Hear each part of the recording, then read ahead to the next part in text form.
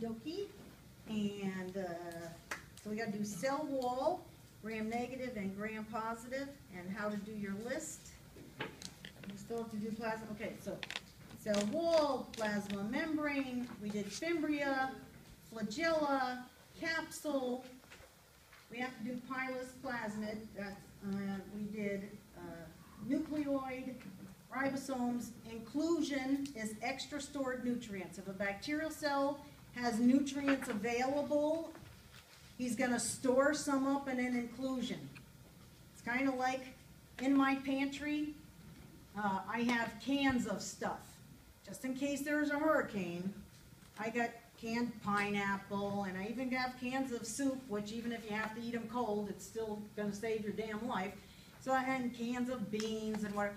you go to Publix and they're having a BOGO, buy one, get one. So you stock up on your canned foods, right? That's what an inclusion is. Extra stored nutrients.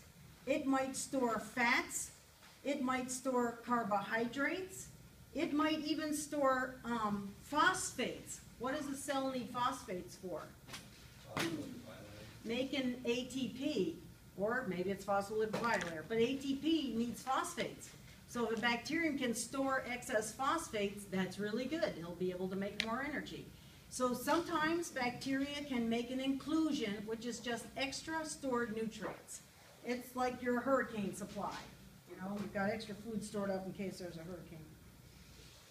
Times get bad for the bacteria, there's nutrient depletion in the environment, he's got some backup stored inclusions, nutrients in the inclusion.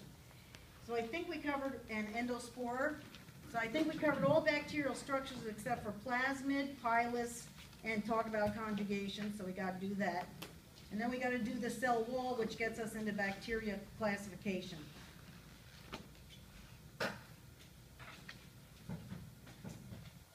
Okay.